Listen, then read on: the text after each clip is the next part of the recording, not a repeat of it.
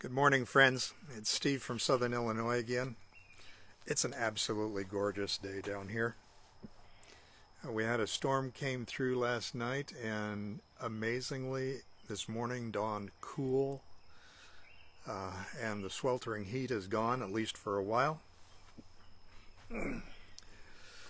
The birds are singing and none of the neighbors are mowing their grass. it's an amazing morning.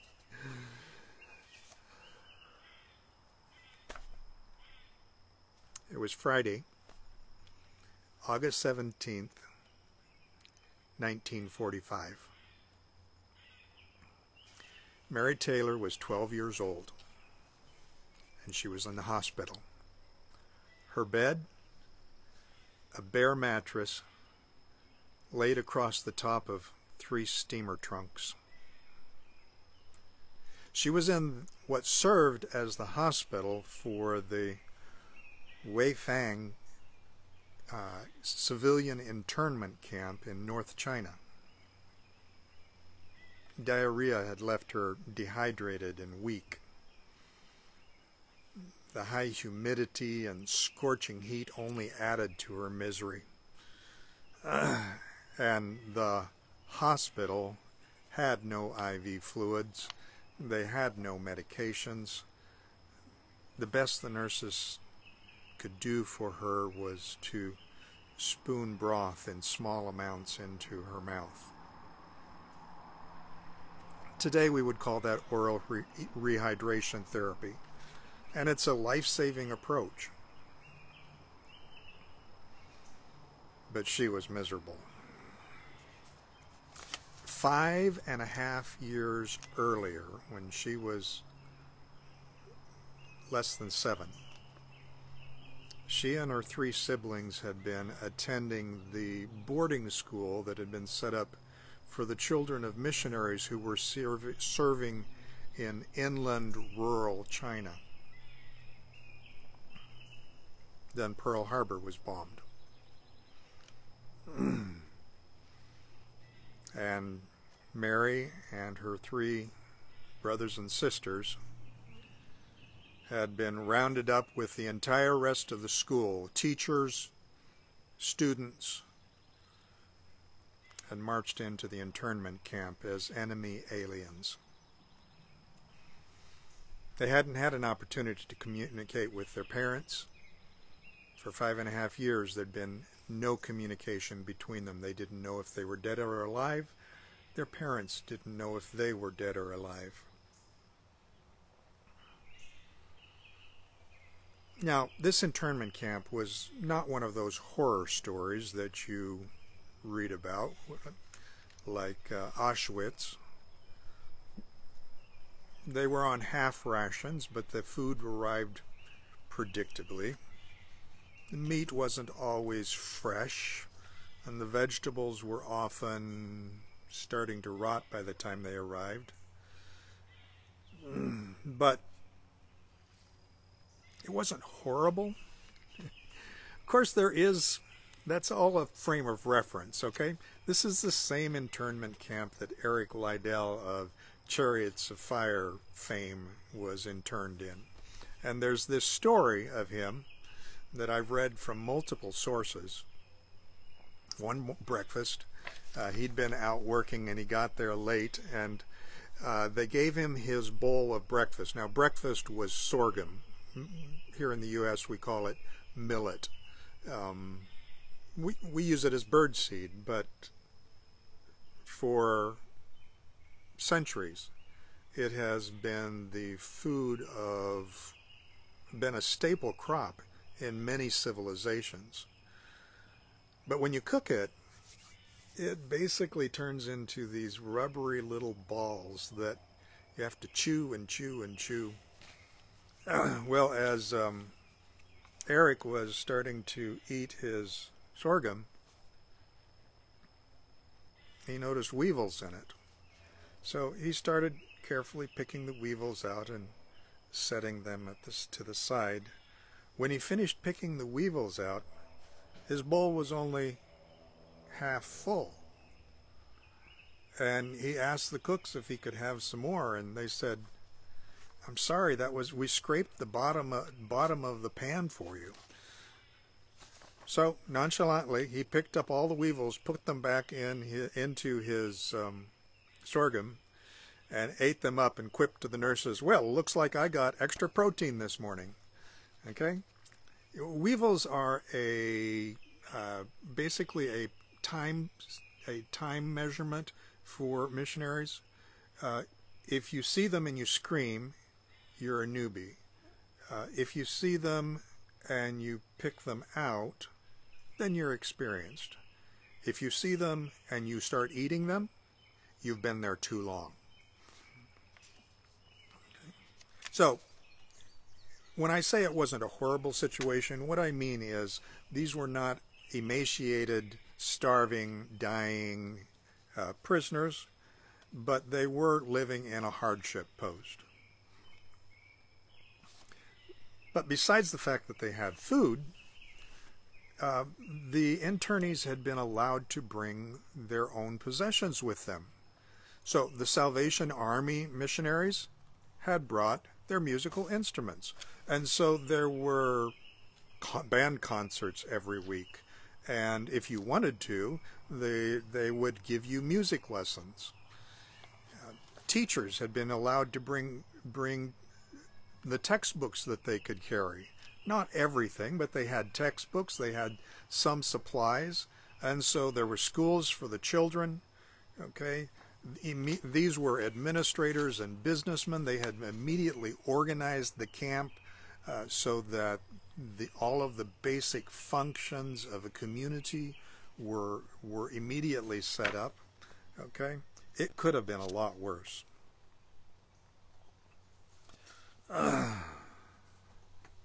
Mary is laying on her bed, her mattress, in the hospital, when suddenly she hears the drone of an airplane outside. Now, this was an uncommon event. Sometimes they would see airplanes way up in the sky, but this airplane sounded close. It sounded low, and that was not common. Sweating and barefoot, she leaped off her mattress and raced to the window. To her surprise, when she looked out the window, people were just acting crazy out in the courtyard. Okay, some were jumping up and down, others were running in circles. Men were stripping off their shirts and waving them in the sky. Some men were pumping their fists in victory. Women were hugging each other or dancing for joy. She looked up, and the plane was low enough that she could see stars on the underside of the wings. It was an American plane. And she understood the joy. They all knew that the war had been not going well for the Japanese. They had mm, illicit contact with resistance fighters in the the the countryside, and so they knew things were not going well. But there was an American plane, and it's flying over, and the people are are rejoicing. They think they're coming for us, and they're waving their waving their shirts, trying to get their attention. And then all of a sudden, the plane turns and starts starts circling back and if she thought the adults were going crazy before, now absolute pandemonium broke out. This plane circled lower, and they could see the faces of the pilots, and the pilots were waving at them. They had been seen, they knew they were there. Suddenly, the underbelly of the plane opened up. This was a B 24 bomber, and the underbelly of the plane opened up. Well, you know what's in bombers, right? And everybody just kind of froze in the courtyard, apprehensive what was going to happen.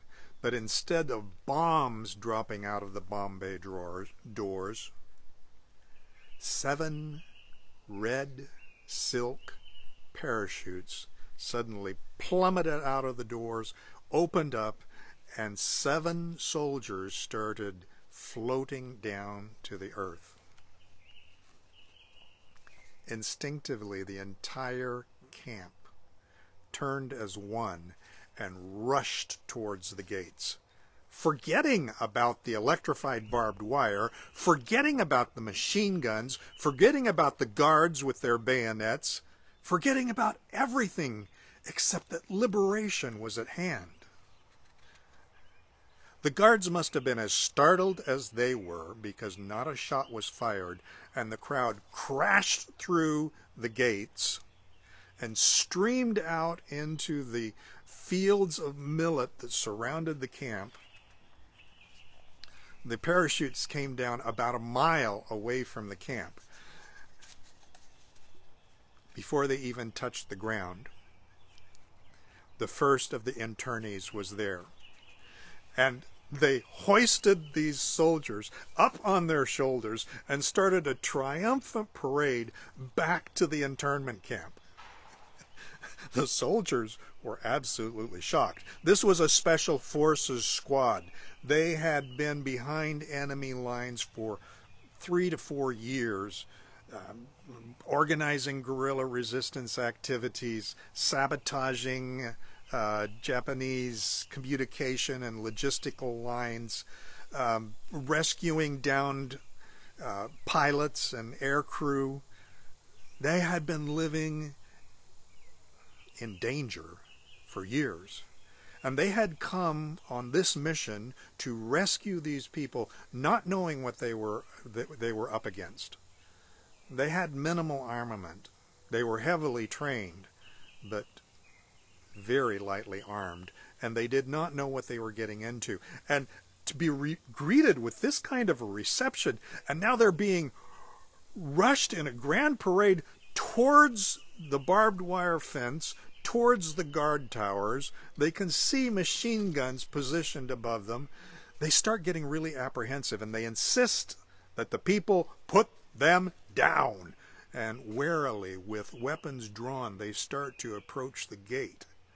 And then suddenly, as if on cue, the Salvation, the Salvation Army band strikes up a stirring march and comes marching out the gate. Followed behind them is the uh, uh, internee organization committee, the, the, the interns who internees who were in who had organized the camp, the leaders of the camp, and they gave them an official welcome and then escorted them into the camp and into the office of the commandant where the Japanese officers were waiting for them.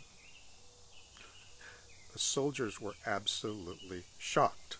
They were still tense they go into the office, and there are the the two commandants. One is political, uh, in charge of po the political aspects, and the other is in charge of the military. And they're very stoic and calm. And in the next 20 minutes, the two parties calmly and rationally negotiated the transfer of the camp. Two days before, the armistice uh, had been signed and the Japanese had surrendered unconditionally. But that word had not reached the camp, either the soldiers, the guards, or the internees.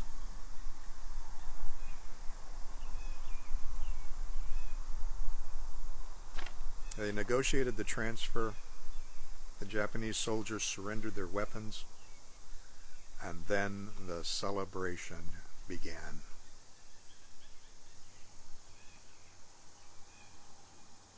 This is such an alien experience for me that it's it's hard for me to e- even imagine the joy, the thrill that those people ex- ex- experienced. And yet, if you go online, you will find a website and you will find multiple first-hand uh, recollections of internees who can still remember details of that experience.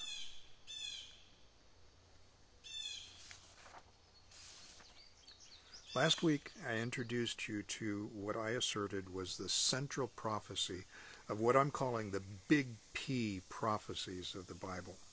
And when I say big P prophecy, I'm talking about the arc of prophecy that that touches on the major points of history.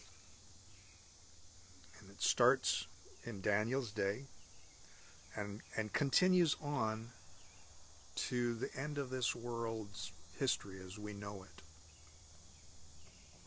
The dream of Nebuchadnezzar anchors history at six points. We have the Babylonian Empire, the Kingdom of Gold, its successor, the Kingdom of Silver, its successor, the Kingdom of Bronze, its successor, the Kingdom of Iron, and then we have a period of chaos where the Blue Jays are excited about something. A period of chaos where no nation is dominant and they're struggling. Some are weak and some are strong. And finally, we have the setting up of the kingdom of God. The big prophecies of the Bible,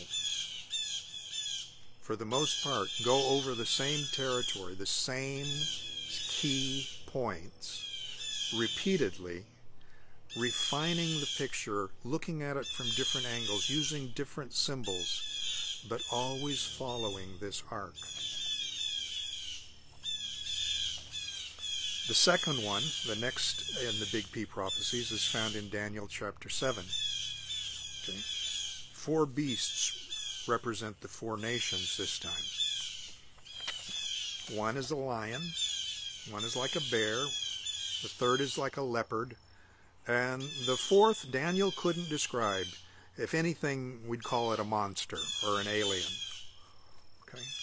Then comes a period of of confusion um, and and contests. No no power dominating fully. And finally, the kingdom of heaven is established. Now, I encourage you, to go to the Bible, read it for yourself, okay?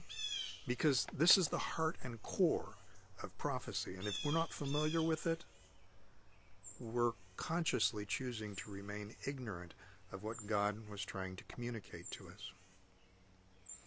I want to especially focus your attention on verses 13 and 14 because they add a detail that's critical to our understanding of what lies ahead and is critical to this touchstone of spirituality, of a meaningful life. Now, I'm going to read the verses 13 and 14 from the contemporary English version. As I continued to watch the vision that night, I saw what looked like a son of man coming with the clouds of heaven.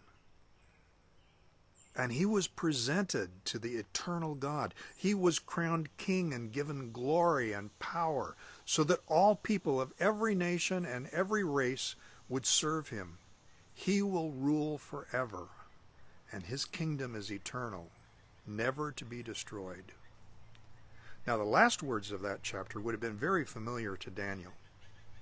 David had been told that his throne would last forever, that his descendants would continue to lead Israel forever. Now, as long as they followed God, His blessing would be upon them. If they didn't follow of God, His blessing would be removed and they would go into captivity. But God would not abandon them.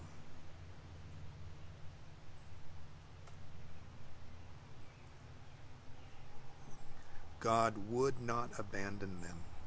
This is critical for us to remember. Okay? Isaiah and the other prophets who had preceded Daniel had used very similar language to describe the coming of the Messiah who would lead Israel back from apostasy both into righteousness and into national glory. that part would have been familiar to Daniel. But the first part, this part about a son of man, a, a being that looks like a human, that appears to be a human, coming with the clouds of heaven? This was new. And in fact, this is the only place in the Old Testament where this imagery is used. But Jesus applied that several times to himself. Jesus quoted Daniel repeatedly, mentioning a future event where he would come in the clouds. Matthew 24 is, is the prime example. This is another one of the big P prophecies. It doesn't go over the entire arc of history. It, instead, it focuses on the events leading up to when the kingdom of God is established, which is what the disciples had asked. That's the question Jesus was answering when he was talking about to them. In verses 29 to 31 of Matthew 24, Jesus says these these things. Right after those days of suffering, the language in the, in the King James is that time of tribulation right after the tribulation, the sun will become dark, the moon will no longer shine, the stars will fall, and the powers in the sky will be shaken. Then a sign will appear in the sky, and there will be the Son of Man. All nations on earth will weep when they see the Son of Man coming on the clouds of heaven with power and great glory at the sound of a loud trumpet. He will send his angels to bring his chosen ones together from all over the earth. The New Testament picture drawn in the Gospels, the writings of Paul, Revelation, of Jesus coming in the clouds, stands on the prophetic foundation of Daniel 17, 7, 13, and 14. There's no discontinuity in the Bible. There's a single arc of prophecy starting with the Old Testament and going continuously through the New. The return of Jesus is the foundation of the Christian faith. Sometimes you'd think we were focused more on the resurrection and the crucifixion from the way we talk about it.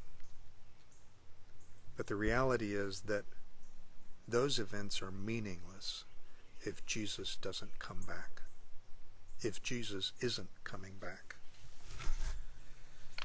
That's the basis of our hope and the basis for optimism and perseverance.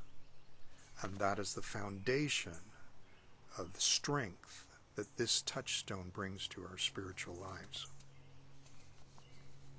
We cannot let our current difficulties, the circumstances that we find ourselves in, the injustice, the evil in the world, define who we are or shift our focus over who we are called to be. Hope demands that we do more than survive, than adapt to our environment, than get by. It calls us to prepare. The people in the Weifang camp had no weapons. They could not free themselves. They were in the grasp of an enemy and helpless. But they were not without purpose. Because of their hope of liberation, they taught their children. They organized themselves. They worked together as a community for the common good rather than fighting over the scraps of food that they were given. They maintained their focus. And when their liberators came, they were ready. The reason the camp was surrendered peacefully was because the prisoners, the internees, had been organizing themselves. They had been having, their leadership had been co having conversations with the leadership of the guards. And the guards had decided that regardless of the orders that they received, they were not going to massacre the in inmates. And when the liberation came, they, the uh, internees, were ready for it. They were ready to go. Enthusiastic. Talk about an enthusiastic yes. This is an enthusiastic yes that is totally over the top. Bible tells us that Jesus is coming. We have an Independence Day coming, friends. But not the kind of Independence Day that we celebrate here in America, where our military prowess wins us victory. Not the kind of Independence Day that we we we show in movies. I'm thinking of Independence Day and Independence Day Resurgence, where the clouds in heaven open and down come monsters. And it's only by our determination and our resistance that we survive. That's not the kind of Independence Day that we face. We're facing an Independence Day where a Savior comes. Because we cannot fix the problems in this world. Once again, today is challenging for those of us who struggle with religion, who struggle with doubts. And I acknowledge that living our lives this way must feel somewhat impractical to you. We must survive, and life often feels like it's a full contact sport, that there's no one here to help us. If we don't do it ourselves, who's going to watch out for us? This world is full of injustice, pain, hatred. Life is not fair. And Jesus did not ignore these facts when he was here. He embraced them and transcended them. And that's what he calls you and I to do as well. His compassion, his love, his commitment sacrificially to caring for the people around him. Purpose and meaning require a future focus that turns surviving into thriving. And that is what I find in the promise of Jesus' return. And that's what I see in the lives of the people who embrace this promise in the Bible. Christians,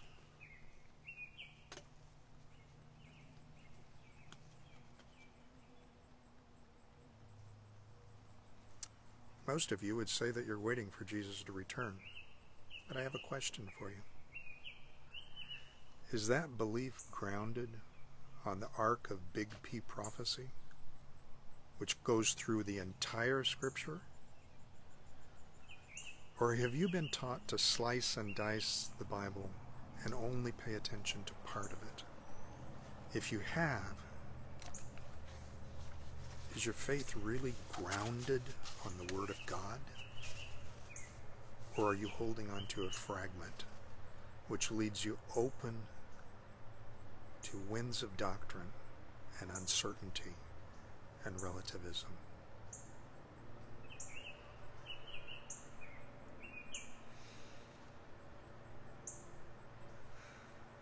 Be safe, my friends.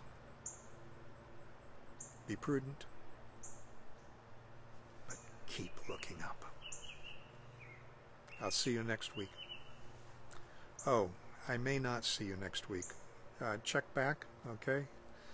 But uh, my dad's been ailing and I need to go down and spend some time with him. So um, this week's going to be somewhat hectic. I hope to see you next week. Bye bye.